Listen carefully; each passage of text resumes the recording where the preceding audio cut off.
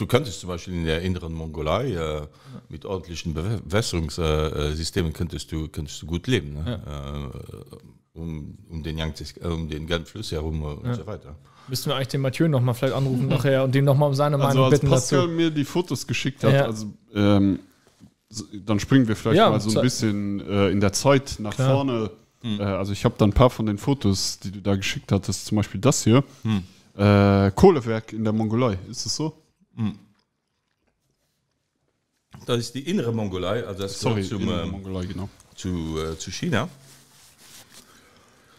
Und ja das das sind diese berühmten ähm, kohlestätten wo, wo ganze ähm, städte aus dem ähm, aufgebaut werden mit millionen einwohnern mhm.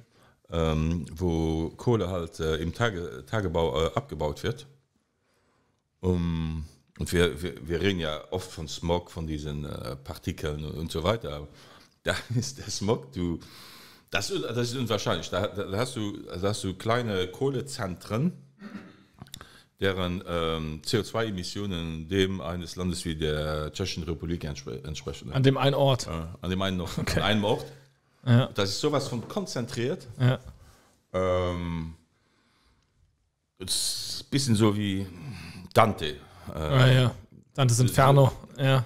Du kommst dem wirklich du du kannst du kannst ja höchstwahrscheinlich äh, wenn, wenn, wenn du jetzt dann den nehmen würdest du wirst da ein paar Zeilen daraus lesen dann wirst du dich äh, da, da erfüllen ja. es ist un, un, unglaublich wie, wie wie ja das die innere Mongolei ist ja halt auch äh, ist interessant wenn man das googelt ähm, Google Map wenn man diese diese braunen äh, Spots äh, sich, ja. sich anschaut das sind alles äh, open open pit mining ah, ja. äh, wo Berge entstehen mit äh, Kohlestaub ja. entstehen Berge das, du, du hast äh, und die, diese diese Aussage dass wir in einem neuen ge geologischen äh, Zeitalter sind im Anthropozän ja. das heißt wo der Mensch die Geologie der Erde ähm, nachhaltig äh, verändert Richtig, hat ja. da, da, da siehst du die, das. Die Kohle Kohlenstaubberge in, in der inneren Mongolei das kommt dem äh, wirklich am, am, am ja. nächsten. Das, das ist unglaublich. Das ist impressionant. Was dann noch interessanter ist wenn du dann zurück nach Beijing fliegst dann hast du ja dann fix aus diesem Staub raus und dann auf einmal während Kilometern Kilometern Kilometern äh, siehst du Windturbinen. Ah, ja.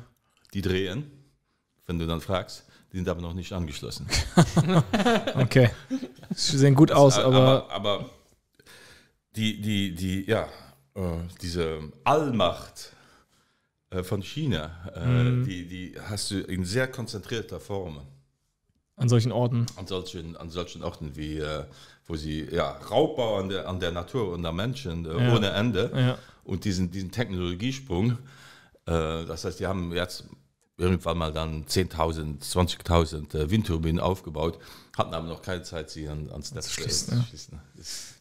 ziemlich, ziemlich äh, ja. Ja